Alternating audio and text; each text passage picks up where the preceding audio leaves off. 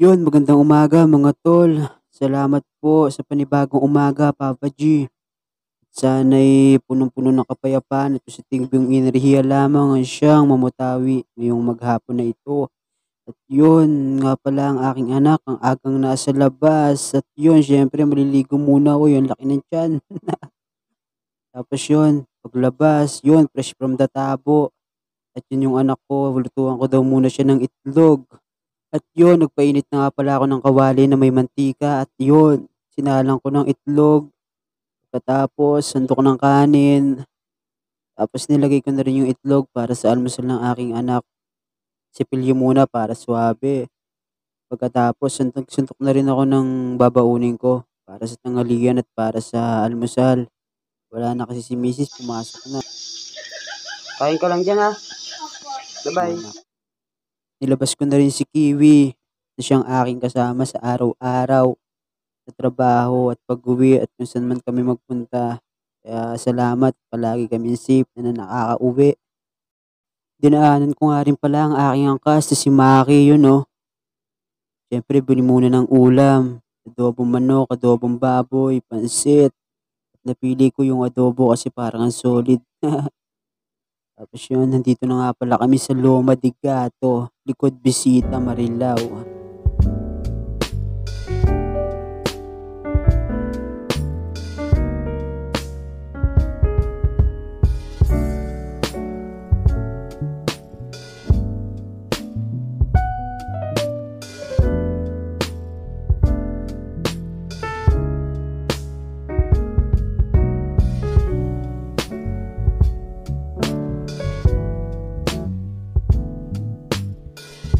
Okay lang.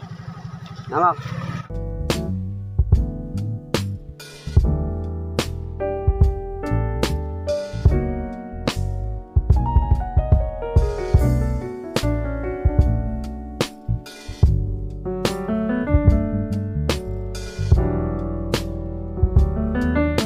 At yun, nakarating na nga pala ako ng safe dito sa trabaho. Salamat po ulit, Papa G. At yun, siyempre almusal muna para may lakas. Kain tayo, kain. Yun ini may himay na parang gulay. yun, first bite. Sige, pakabusog ka lang. At syempre, magiin muna tayo. Isa sa pinaka-importante sa lahat. Napagkarga na agad kami dyan ng molye. Yun. Tapos pagulong-pagulong lang ng gulong, kamada-kamada, mga kakosang kumpare kung malulupit yung mga yan. Yun no, si Ultraman nga pala, pinapakilala ko sa inyo. yun, pagulong-pagulong lang, ganyan-ganyan lang. Tapos yun, break time na naman ng alas 12. Kinuha na ang may huwagang paunan at inagis sa lamesa.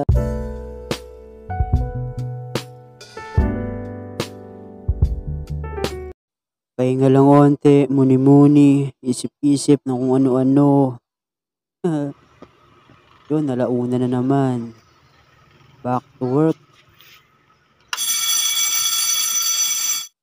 Balik trabaho na, yun no. Paring Elvin at paring Aser. Ngayon, maglalagay naman kami ng plywood sa istante kasi yung mga istante namin medyo marurupok na. Kaya medyo papalitan namin ng mga bago at matitibay na pinulik.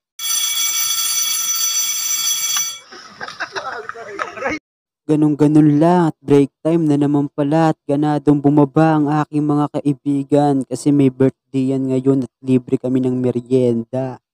Ayun no, kanya-kanyang kuha, spaghetti at puto, food trip na naman ang aking mga kaibigan. Back to work na naman, hoy, balik trabaho na. Yun, pagulong-pagulong na naman.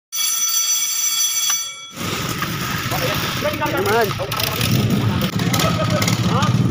Yun, uwian na naman at dinaanan ko muna ang aking angkas. At ngayon, nandito na kami sa bagong silang. Drive-drive lang. Medyo inabot na kami ng gabi pero okay lang. Malapit na rin naman kami sa aming mga bahay. Hatid ko muna yung angkas kong si Maki sa akin. Yun o. Ingat, ingat. Sinalubong agad ako ng batang makulit. Yun, nandito na ako sa bahay. Maraming maraming salamat po ulit sa maghapon na to, Papa G. Bukas po ulit. Ayun lang, maraming maraming salamat sa panonood at dito na po nagtatapos. Maraming salamat.